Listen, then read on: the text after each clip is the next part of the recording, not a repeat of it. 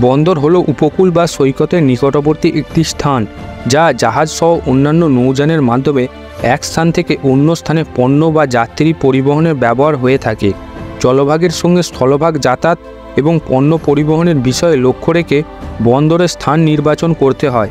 বাণিজ্যিক চাহিদা ও জননিরাপত্তার বিষয় বিবেচনা রাখতে হয়। বিশ্বের যে কোনো দেশেরই অর্থনৈতিক সমৃদ্ধিতে বন্দরের ভূমিকা গুরুত্বপূর্ণ।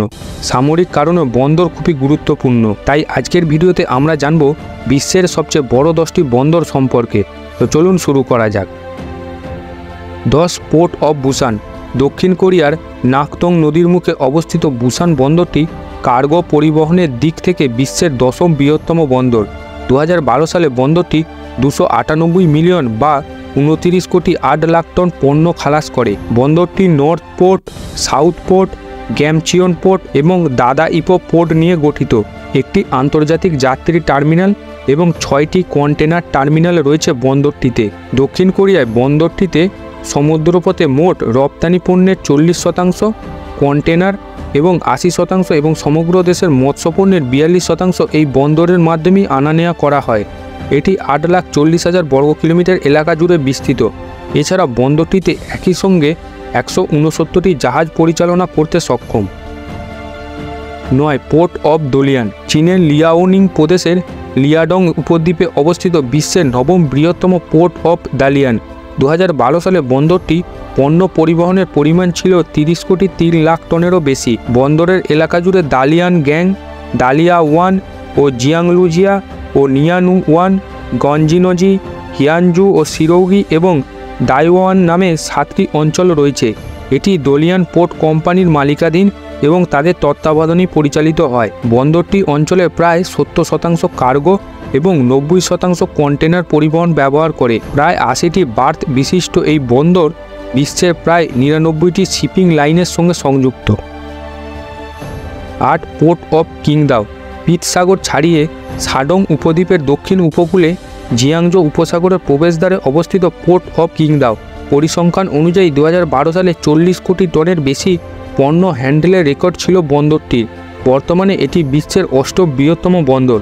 লৌহ আকরিকের জন্য এটি বিশ্বের বৃহত্তম বন্দর এবং চীনের অপরিশোধিত জ্বালানি তেলের বৃহত্তম বন্দর হিসেবে পরিচিত। বন্দরটি কিংদাও ওল্ড পোর্ট ওয়াংদাও ওয়েল পোর্ট এবং কিয়াংওয়ান নিউ পোর্টের সমন্বয়ে গঠিত। বিশ্বের একশো তিরিশটি দেশ ও অঞ্চলের চারশো পঞ্চাশটিরও বেশি বন্দরের সঙ্গে ব্যবসায়িক সম্পর্ক রয়েছে। এর নিকটেই রয়েছে Qingdao economy and technological area Qingdao free trade zone এবং Qingdao high tech industrial zone. Qingdao port গ্রুপের অধীনে বন্দরটি পরিচালিত হয়। সাত পোর্ট অফ সুজাহো পণ্য খালাসের দিক থেকে বিশ্বের সপ্তম বন্দর হল চীনের পোর্ট অফ সুজাহো। দু হাজার বারো সালে এর পণ্য খালাসের রেকর্ড বিয়াল্লিশ কোটি চার লাখ টন, যা ঠিক তার আগের বছরের তুলনায় বারো দশমিক ষোলো শতাংশ বেশি।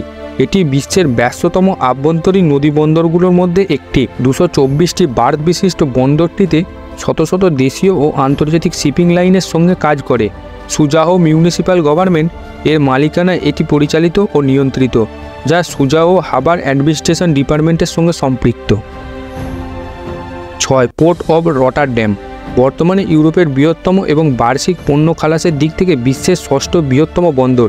দু হাজার বারো সালে চুয়ান্ন কোটি পনেরো লাখ টন পণ্য পরিবহনে যুক্ত ছিল বন্দরটি। এর আশেপাশে একটি শিপ কমপ্লেক্স সহ বন্দরটির দৈর্ঘ্য প্রায় বিয়াল্লিশ কিলোমিটার এবং প্রায় বারো হাজার চারশো ছাব্বিশ হেক্টর এলাকায় বিস্তৃত। এর ব্যবস্থাপনা ও পরিচালনা রয়েছে পোর্ট অব অটারড্যাম অথরিটি। এটি উত্তর পশ্চিম ইউরোপের একমাত্র বন্দর, যা গভীরতার কারণে অন্যান্য দেশের জাহাজগুলো এখানে নোঙর করার ক্ষেত্রে অবধারিত সুবিধা ভোগ করতে পারে। পাঁচ, পোর্ট অব নিংবো। এই তালিকায় পঞ্চম অবস্থানে রয়েছে পোর্ট অব নিংবো। বন্দরটি উপকূলীয় প্রদেশে বেজিয়াংয়ে অবস্থিত। এটি ঝিলুন ও ঝঞ্ঝাই এবং নিংবো ও ড্যাক্সি এবং চুয়াশান বন্দর অঞ্চল নিয়ে গঠিত। নিগবো পোর্ট গ্রুপ এটি পরিচালনার দায়িত্বে রয়েছে। দু হাজার বারো সালে পঁয়তাল্লিশ কোটি তিন লাখ টন কার্গো হ্যান্ডেল করা বন্দরটি একই বছরে এক কোটি ছাপান্ন লাখ টিইউ কন্টেনার পরিবহনের রেকর্ড স্পর্শ করে। তিনশো নয়টি ঘাট নিয়ে গঠিত শতাধিক দেশের ছশো বন্দরের সঙ্গে সংযুক্ত। চার পোর্ট অব গুয়াংজু, ছেচল্লিশ কোটি টনের বেশি পরিমাণ কার্গো পরিবহনের মধ্য দিয়ে বিশ্বের চতুর্থ বৃহত্তম বন্দরের তালিকায় পোর্ট অফ জুয়াংজু। বন্দরটি পাল রিভার ডেল্টা এর মাঝখানে অবস্থিত।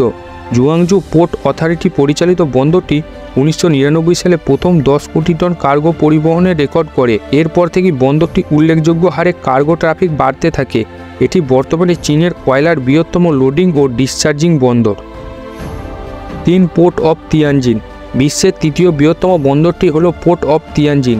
পূর্বের নাম ছিল তায়াঙ্গু দু হাজার বারো সালে কার্গো ও কন্টেনার পরিবহনে যথাক্রমে পাঁচ দশমিক তিন শতাংশ ও ছয় দশমিক দুই শতাংশ প্রসিদ্ধির জন্য দৃষ্টান্ত স্থাপনা করেছে।